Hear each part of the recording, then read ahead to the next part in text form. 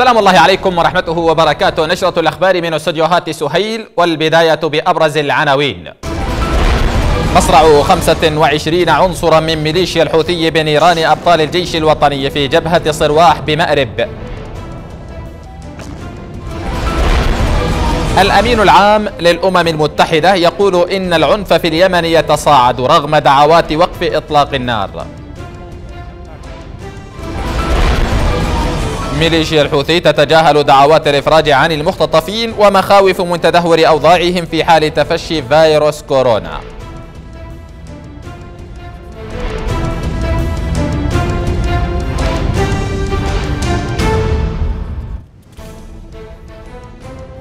تفاصيل الأنباء أستهلها بسم الله الرحمن الرحيم. لقي أكثر من 25 عنصرا من ميليشيا الحوثية الانقلابية مصرعهم وجرح آخرون اليوم السبت بنيران أبطال الجيش الوطني في, جبهة, في جبهة صرواح غرب محافظة مأرب. وأكد مصدر عسكري للمركز الإعلامي للقوات المسلحة بأن أبطال الجيش الوطني استدرجوا مجاميع من ميليشيا الحوثية الانقلابية إلى كمين محكم بأحد الشعاب في جبهة صرواح قبل أن يطوقوهم ويمطروهم بالنيران وقذائف المدفعية.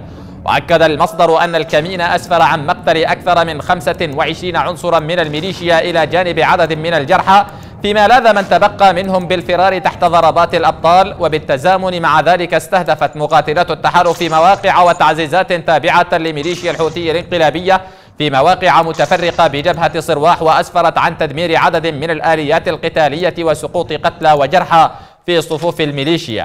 هذا وكانت مدفعية الجيش الوطني قد استهدفت فجر اليوم مواقع وتجمعات للميليشيا الانقلابية في جبهات صرواح وهيلان وتمكنت من تدمير تحصينات وآليات قتالية تابعة لميليشيا الحوثي تابعة لميليشيا الحوثية الانقلابية وألحقت بها خسائر بشرية كبيرة. استهدفت ميليشيا الحوثية الانقلابية مساء اليوم الجمعة محطة لضخ النفط الخام غرب محافظة مأرب. وقالت مصادر محلية بأن ميليشيا الحوثي استهدفت المحطة المتواجدة في مديرية صرواح بصاروخ باليستي. يأتي هذا تزامنا مع اشتداد المعارك في جبهتي هيلان وصرواح وتكبيد ميليشيا الانقلاب خسائر كبيرة. اليوم 4 4 2020 في هذه اللحظة آه، المحطة التحويلية لتصدير النفط التي تتجه إلى ميناء رأس عيسى بالحديدة تحترق في هذه اللحظات. جراء استهدافها من قبل آه، ميليشيات الحوثي النازية آه، التي لم تترك جميل في هذا الوطن إلا واستهدفت. قتلت الإنسان آه، دمرت منشآته دمرت منازله فجرت كل ما يملك هذا الشعب. في هذا المساء المشاريع الحيوية التي هي ملك لكل أبناء اليمن. تحترق وتدمر من قبل هذه الميليشيا النازية التي لم تعرف إلا الخراب والموت والدمار محطة كوفل الرئيسية التي تضخ النفط إلى رأس عيسى إلى ميناء آه، الصليب إلى الحديدة تقوم باستهداف هذه الجماعة. وها هي تحترق أمامكم يا أبناء اليمن وها هي تحترق أمام العالم على العالم أن يقف أمام مسؤولياته ليرى هذه الجماعة وأفعالها الإجرامية بحق أبناء اليمن وبحق مشاريعه الحيوية والاستراتيجية. وللمزيد حول هذا الموضوع ينضم إلينا عبر الهاتف الزميل عبد الإله البوري مراسلنا في محافظة مأرب. عبد الإله ضعنا في صورة المستجدات في صورة مستجدات المعارك والانتصارات. التي حققها أبطال الجيش الوطني اليوم في صرواح.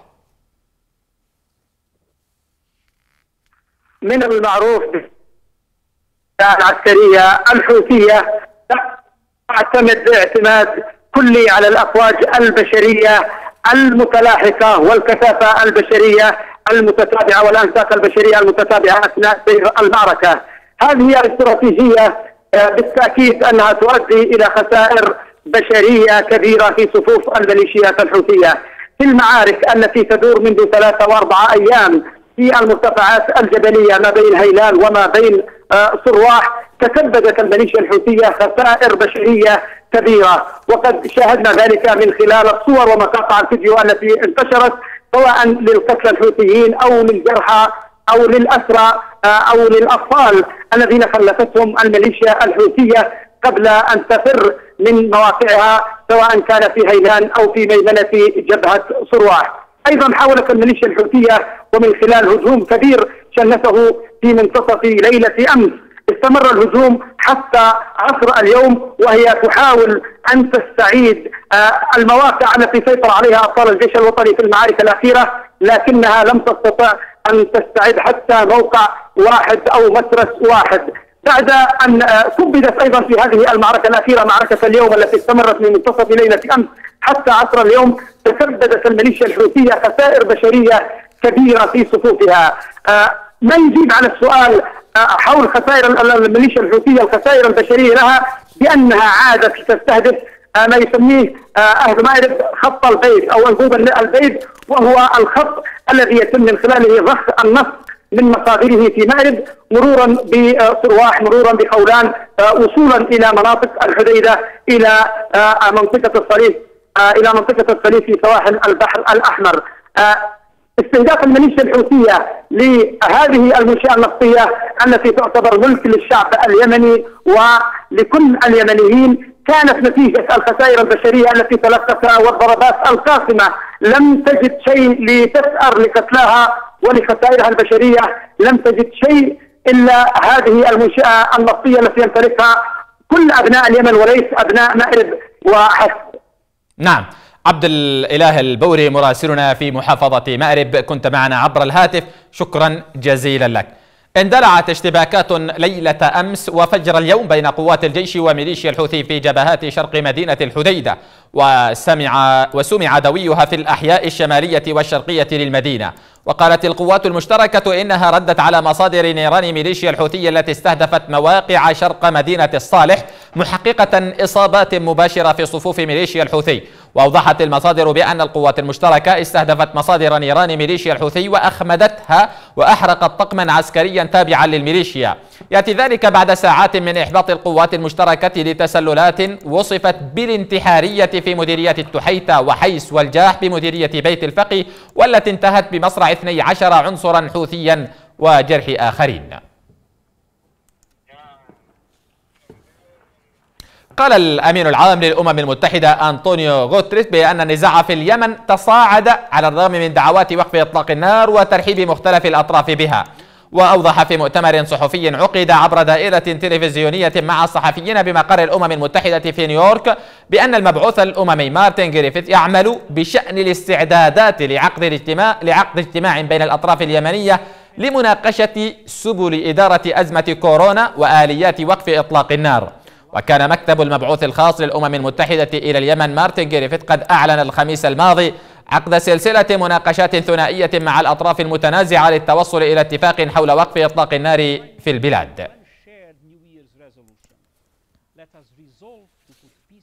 عقدت المحكمة الجزائية المتخصصة في العاصمة اليمنية المؤقتة عدن أولى جلسات المحاكمة غيابيا ل 32 من قادة جماعة ميليشيا الانقلاب الحوثية وجهت إليهم المحاكمة تهما وجهت إليهم المحكمة تهما أبرزها الانقلاب والمساس بسيادة البلد واستقلاله.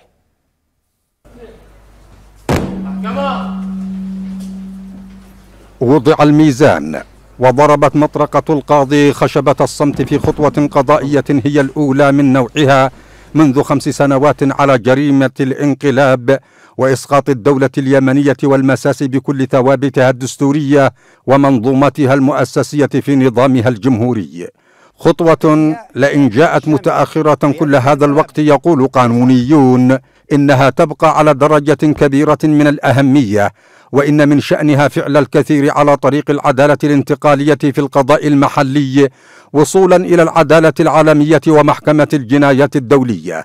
إحدى عشرة تهمة وجهتها المحكمة الجزائية المتخصصة في العاصمة المؤقتة عدن إلى 32 مطلوبا للعدالة من قادات الانقلاب الحوثية. بينهم متهمون صدرت بحقهم عقوبات دولية ويمارسون أنشطة إرهابية تندرج ضمن محددات التصنيف الدولي الإرهاب. وشملت قائمة المتهمين المطلوبين للعدالة المدعو عبد الملك الحوثي كمتهم أول تلاه واحد وثلاثون متهما بينهم المشاط وبن حبتور ومحمد علي الحوثي وآخرون من عصابة الانقلاب الذين تضمنت أسماءهم لائحة الاتهام المقدمة من النيابة الجزائية المتخصصة في القضية الجنائية. رقم 168 لسنة 2018 ميلادية وشمل قرار الاتهام متسلسلة جرائم جسيمة يصنفها القانون اليمني جرائم خيانة عظمى بدءا من التمرد على الدولة والانقلاب المسلح على النظام الجمهوري والمساس باستقلال البلد وأمنه وسيادته والتخابر والتآمر مع أطراف خارجية ضد الوطن. ونهب الاحتياطي الوطني من النقد الأجنبي في البنك المركزي إضافة إلى تهم جسمة أخرى. وتعد هذه المحاكمة لقادات الميليشيات الحوثية مرحلة أولى على سياق جلسات محاكمات قادمة لتوثيق وقائع الجرائم والتهم الموجهة إلى قائمة الانقلاب 32 والتي قد تشمل جرائم الجنايات الحوثية فيما يتعلق بحريات وحقوق المواطنين وممتلكاتهم وجرائم الحرب والإبادة الجماعية والألغام والقصف العشوائي والقتل والاعتقال الاعتقال وتفجير المنازل. ووفق قانونيين فإن الأحكام الصادرة عن القضاء اليمني بخصوص المتهمين ستكون ملزمة للدولة باتخاذ الإجراءات القانونية اللازمة في ملاحقة المتهمين وتنفيذ أحكام العدالة بحسب قانون العقوبات والتي قد تصل إلى حكم الإعدام بعد الاستئناف والتخفيف. حي نائب رئيس الجمهورية الفريق الركن علي محسن صالح الأحمر. البطولات التي يسطرها أبطال الجيش الوطني والمقاومة الشعبية في مختلف جبهات الحرية والكرامة بمحافظة تعز ضد ميليشيا الحوثي الكهنوتية المدعومة من إيران وتحرير ما تبقى من تراب الوطن تحت هيمنتها واستعادة المؤسسات الدستورية وبسط هيبة الدولة على كامل التراب الوطني. واطلع نائب الرئيس خلال اتصال هاتفي بمحافظ محافظة تعز نبيل شمسان على المستجدات الميدانية وجهود السلطة المحلية في توفير الخدمات وإرساء دعائم الأمن والاستقرار في محافظة تعز والاستعدادات الاحترازية التي تبذلها السلطة المحلية لمواجهة أي مخاطر لانتشار فيروس كورونا.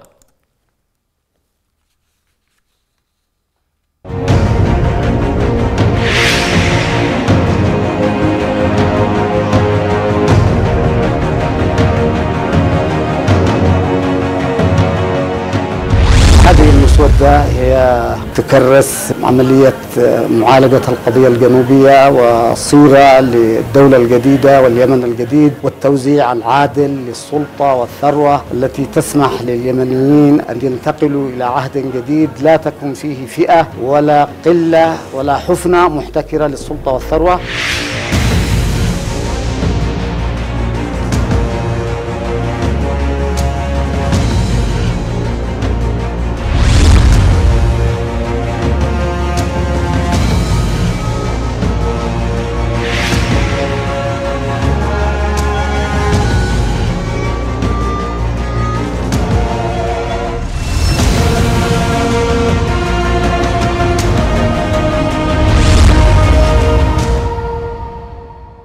تنطلق غدا الأحد الساعة السابعة مساء حملة إلكترونية شعبية للمطالبة بالكشف عن مصير أحد أبرز قيادات العمل السياسي في اليمن عضو الهيئة العليا للتجمع اليمني للإصلاح الأستاذ محمد قحطان.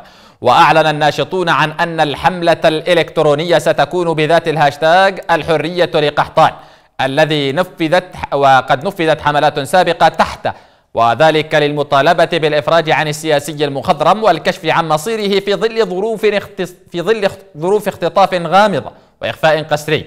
وما يعاني منه من أمراض منذ اختطفته ميليشيا الحوثي الانقلابية من منزله بصنعاء في الخامس من إبريل عام 2015 وتأتي الحملة هذا العام متزامنة مع مطالبات دولية بإطلاق المختطفين والسجناء في ظل تفشي وباء كورونا والأخطار المهددة لآلاف السجناء في اليمن. يشار إلى أن أسرة القيادي السياسي محمد قحطان لا تعلم عن مصيره شيئا منذ اختطافه ورفضت الميليشيا السماح لأسرته بالتواصل معه أو زيارته ولم تبلغ بمكان إخفائه قسريا حتى هذه اللحظة. وتحظى حملة التضامن السنوي مع أبرز قادة العمل السياسي بتفاعل كبير لما يمثله المناضل محمد قحطان من رمزية كرجل للسلام والحوار.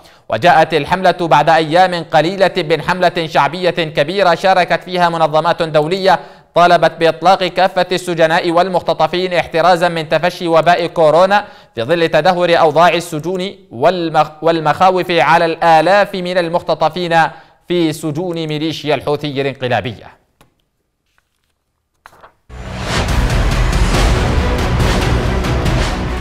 أناشد كل مواطن يمني أن يساند مواقف الدولة التي تصب في اتجاه مكافحة الخارجين عن القانون الإرهاب. أن توجد دولة أن توجد دولة قوية آه، تبسط نفوذها المستند إلى الدستور والقانون على ربوع البلاد. هذا مصلحتي أنا ومصلحة آه، ابني وابن ابني.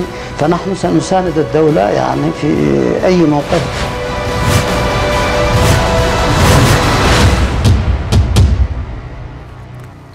أكد محامي الدفاع عن المختطفين في سجون ميليشيا الحوثي عبد المجيد صبرة بأن ملف المختطفين بات خاضع للمتاجرة السياسية وحذر من تداعيات انتشار وباء كورونا على المعتقلين والمخفيين قسرا وقال المحامي صبرة في منشور على صفحته بالفيسبوك قال إن أقارب المعتقلين والمختطفين يعانون لحظات عصيبة بسبب انقطاع الأخبار عنهم نتيجة الإجراءات المتخذة من قبل ميليشيا الحوثي ضدهم. ودعا صبرا إلى ضرورة تكثيف الجهود من قبل الأمم المتحدة والمنظمات الدولية والمحلية وكل نشطاء حقوق الإنسان لفتح ثغرة في هذا الملف الإنساني الذي صار يتاجر به سياسيا دون اكتراث لحياة آلاف المعتقلين. وكان المبعوث الأممي إلى اليمن قد دعا في وقت سابق الأطراف اليمنية إلى إطلاق كافة الأسرى والمعتقلين احترازا من وباء كورونا. وصل عدد المفرج عنهم من سجون ميليشيا الحوثية من سجون بعض المحافظات المحررة ضمن الإجراءات الاحترازية لمواجهة تفشي فيروس كورونا قرابة 800 سجين. وكانت السلطات القضائية في الحكومة اليمنية قد شددت خلال الأسابيع الماضية على ضرورة اتخاذ السلطات القضائية في المحافظات تدابير وإجراءات احترازية لمواجهة فيروس كورونا والإفراج عن جميع المسجونين على ذمة قضايا غير جسيمة. أكدت منظمة الصحة العالمية خلو اليمن من فيروس كورونا المستجد حتى مساء الجمعة. جاء ذلك في تقريرها للتحديثات اليومية التي ينشرها مكتب الشرق الأوسط التابع لمنظمة الصحة العالمية. وقالت المنظمة إن العديد من البلدان في المنطقة اعتمدت سياسة المكوث في المنزل وتدابير أخرى للحد من انتشار كورونا مشيرة إلى أن هذه التدخلات فعالة وتحتاج إلى استكمالها بتدابير الرعاية الاجتماعية لضمان حصول الأشخاص الضعفاء على الغذاء وأساسيات الحياة الأخرى أثناء تطبيق هذه التدابير. وأشارت منظمة الصحة إلى أنها اعتمدت في تقريرها على البيانات المرفوعة من وزارة الصحة في مختلف البلدان. بحجة فيروس كورونا رفع تجار المواد الغذائية في محافظة شبوة قائمة الأسعار ما شكل عبئا إضافيا على كاهل المواطنين. يأتي ذلك في ظل إجراءات حثيثة تقوم بها السلطات المحلية لضبط الأسعار لكنها تبدو ضعيفة بحسب المواطنين في المحافظة. ما أن تقع أزمة إلا ويستغلها التجار. تماما. مثل أزمة فيروس كورونا الحالية هكذا قالها المواطنين هنا في محافظة شبوة. بعد أن ارتفعت أسعار المواد الغذائية فجأة دون أي مبرر سوى مبرر تداعيات هذا الفيروس الخطير. الأسعار مرتفعة بشكل جنوني خاصة في الفترة الأخيرة هذا. وإحنا نلاحظ بعض التجار يتعذرون بأمراض كورونا وهي في الأساس ليس عذر هذا أمراض كورونا. التريلات آه، داخلها يوميا عند التجار محلات التجار.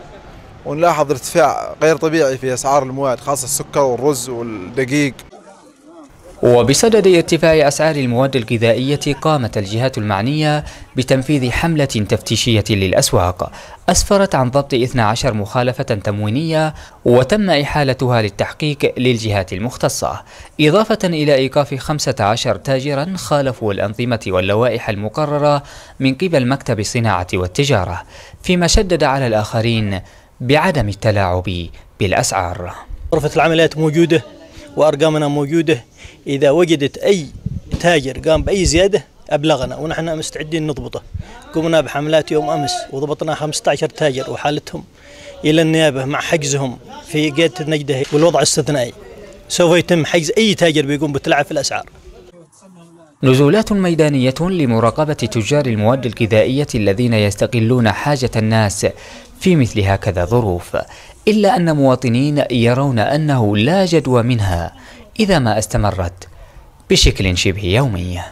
حسن البوريكي لقناة سهيل من محافظة شبوة. أعلن محافظ محافظة حضرموت قائد المنطقة العسكرية الثانية اللواء الركن فرج سالمين البحسني رفع حظر التجوال بعد سريانه ليوم واحد. وقال البحسني إن رفع الحظر جاء تقديرا وعرفانا لمستوى المسؤولية والانضباط الشعبي الذي أظهره أبناء حضرموت عموما وبما حققه من نجاح من تنفي في تنفيذ الأهداف وفقا للمكتب الإعلامي للمحافظ. وأشار إلى أنه وبعد نجاح الحظر ودراسة وتقييم القرار من مختلف الجوانب وحرصا على المصلحة العامة تقرر رفع الحظر على أن تظل فكرة إعادته إلى حيز الوجود قائمة عند الضرورة القصوى القصوى.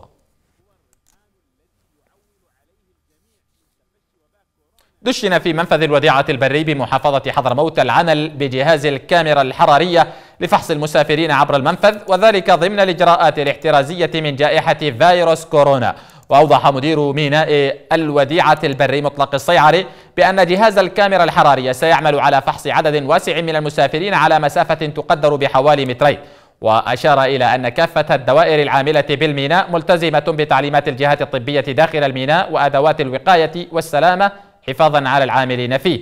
ولفت إلى أن جميع سائقي مركبات النقل التجاري والإغاثي والإنساني الذين استثناهم قرار لجنة الطوارئ يخضعون لإجراءات الفحص وتسجيل بياناتهم ووجهة تفريغ حمولتهم.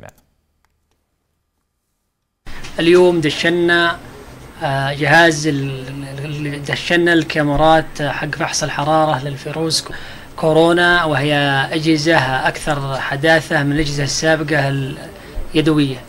هذه آه، اليوم تم تدشينها في الوديعة وإن شاء الله بكرة وبعد بكرة في الفترة القريبة الجاية سيتم تدشينها في آه، مطار سيئون ومطار المكلا ومينائي شحن وصرفيت وكذلك مطار عدن.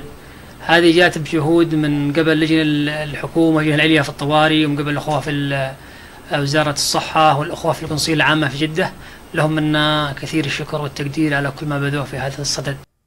تعمل السلطة المحلية بمديرية المسراخ بالتعز عبر فرق توعوية انتشرت على مستوى المديرية بعد التدريب بالإضافة إلى تجهيز عيادة خاصة وحجر صحي بمستشفى المديرية لمجابهة انتشار فيروس كورونا.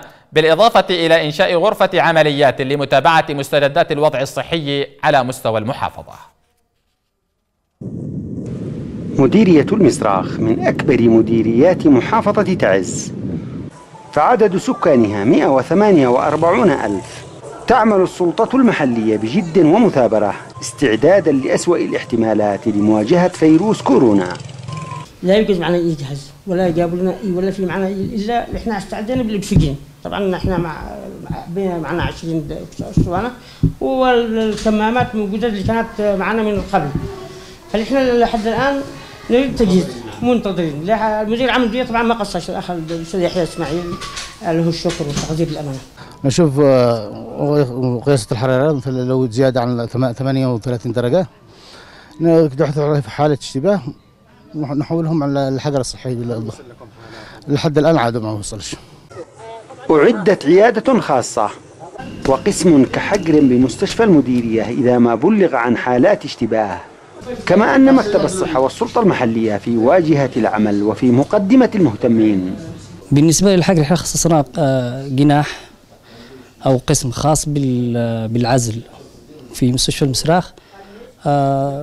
مخصص لمواجهة كورونا ومعد ومجهز بالأسرة والمدخل والمخرج الخلفي للمستشفى بعيدا عن بقية الأقسام.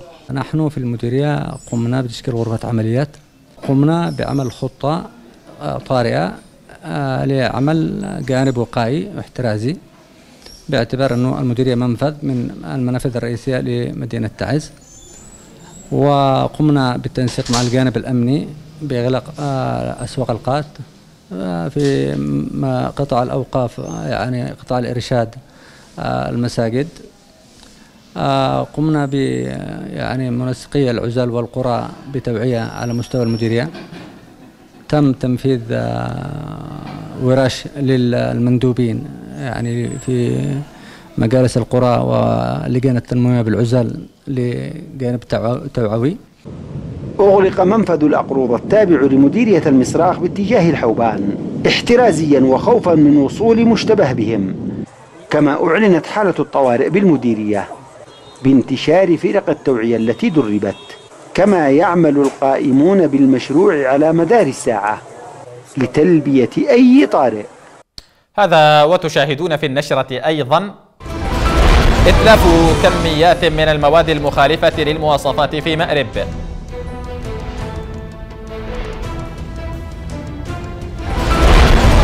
ترقيم السيارات وإصدار التراخيص في شبوة.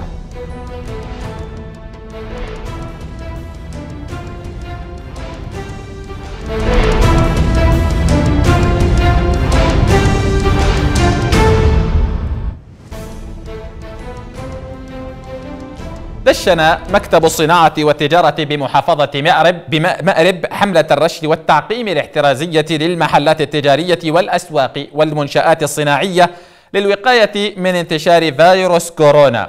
وأكد مدير عام مكتب الصناعة والتجارة ياسر الحاشدي بأن حملة الرش تندرج في إطار الحملات الوقائية وذلك والتي تنفذها اللجنة الفنية بالسلطة المحلية لمواجهة فيروس كورونا المستجد لحماية المواطنين من هذا الوباء الخطير.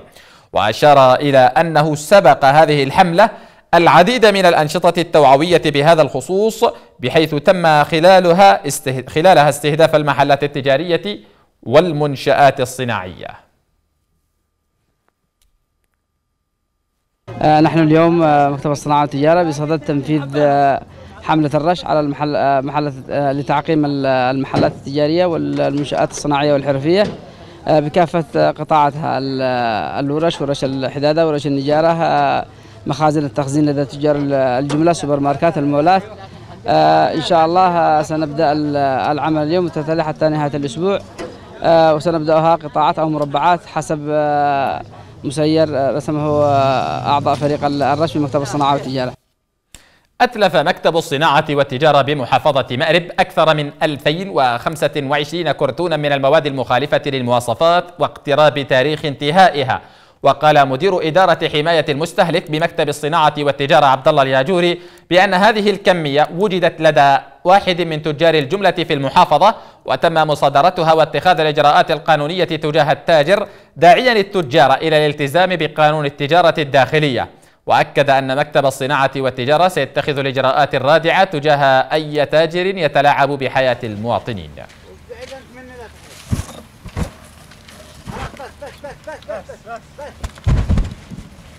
اليوم نتلف عدد 2026 كرتون مأكولات أطفال متنوعة بطاطس بطاطس ومقرمشات. آه سبب الإتلاف آه مخالفة للمواصفات والمقاييس بسبب انتهاء الصلاحية. آه وكانت هذه الكمية في مخازن أحد التجار حاول بيعها. آه وهي قادمة لنا من محافظة أخرى. ولكننا قمنا بضبطها بشكل مفاجئ ونحذر جميع التجار من بيع أي كميات مقربة في السوق والعمل بتعليم مكتب الصناعة والتجارة الذي يصدر لهم في يوم 16 3 2020 والخاص بالمنتجات المقربة المقربة والمنتهية وأيضا المهربة والمقلدة. ونحذر كل التجار بعدم إنزال أي عروض وخصوصا أن إحنا مقبلين على الشهر الكريم إلا بعد موافقة مكتب الصناعة والتجارة ما لم سوف نتخذ الإجراءات القانونية الرادعة حيال من يخالف ذلك.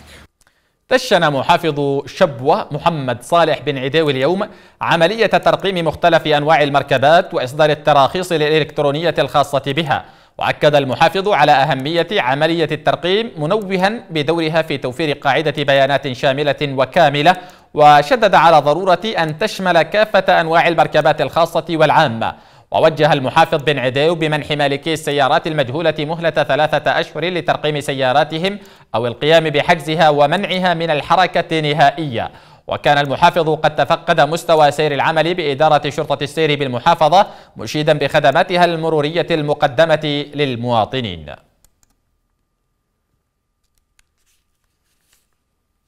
محافظة. وتم تدشين هذا قسم الإصدار الآلي لأول مرة في المحافظة بالرخص الإلكترونية المركبات السير المركبات. وهي ثاني إنجاز في خلال عام واحد يتم تدشينها بدأ المحافظة شبوة لأكثر من 30 عام وحيث يذهبوا لإستخلاص مثل هذه التراخيص الإلكترونية ومن محافظات أخرى وافتتاح الإصدار الآلي في المحافظة. سيخفف على المواطنين أعباء كثيرة وسيقدم خدمة كبيرة لمواطني تسبب خلل فني ظهر اليوم السبت في احتراق زورق بحري تابع لقوات خفر سواحل في محافظة حضرموت. وأوضح قائد موقع ميناء المكلا الملازم أول أحمد محمد باراس بأن الحريق لم يتسبب في أي خسائر بشرية باستثناء أحد أفراد التدخل السريع الذي تعرض لإصابة طفيفة في إحدى قدميه. وذكر أن الزورق البحري كان متجها إلى موقع الحمراء في مهمة عسكرية وحصل خلل فني في إحدى المكائن ما أدى إلى اندلاع الحريق في الزورق. حذرت وزارة الثقافة من محاولات العبث بمحتويات دار المخطوطات ومخطوطات الجامع الكبير من قبل ميليشيا الحوثية الانقلابية. وقالت الوزارة في بيان لها إنها تتابع بقلق كبير ممارسات ميليشيا الحوثية الانقلابية في دار المخطوطات ومخطوطات الجامع الكبير بصنعاء منذ استيلائها على الدار. وأوضحت الوزارة بأن الممارسات العبثية التي تقوم بها ميليشيا الحوثي في حق المخطوطات المهمة والنادرة تجلت واضحة أخيراً من خلال تمكينهم لعدة جهات وبشكل غير رسمي أو قانوني من العبث بمرافق ومحفوظات الدار. وحملت وزارة الثقافة ميليشيا الحوثي مسؤولية فقدان وتلف محفوظات كل من دار المخطوطات ومخطوطات الجامع الكبير بصنعاء. وأعربت الوزارة عن أملها في أن تقوم منظمة اليونسكو بالإشراف والضغط على الجهات المسؤولة بالحفاظ على سلامة المخطوطات.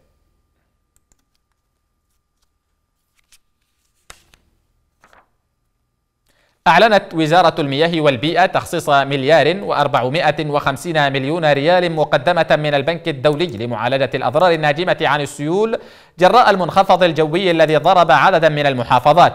وقالت الوزارة في بيان لها إنها تتحرك بسرعة لمعالجة الأضرار التي لحقت بالمحافظة الجنوبية والشرقية وبالتنسيق مع البنك الدولي والشركاء الدوليين ودعم مؤسسة المياه والصرف الصحي في عدن ولحج وتعز وحضرموت ومعالجة الأضرار البالغة التي لحقت بمصادر المياه وشبكات الصرف الصحي في المناطق المتضررة.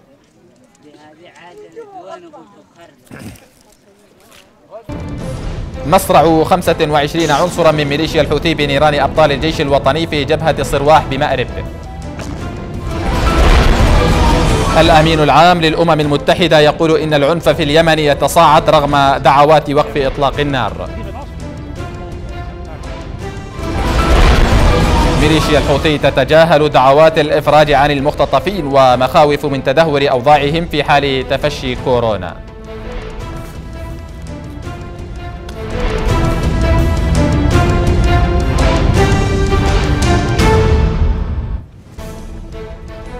في ختام هذه النشرة لكم مني أطيب المنى. تقبلوا تحياتي وتحيات فريق العمل.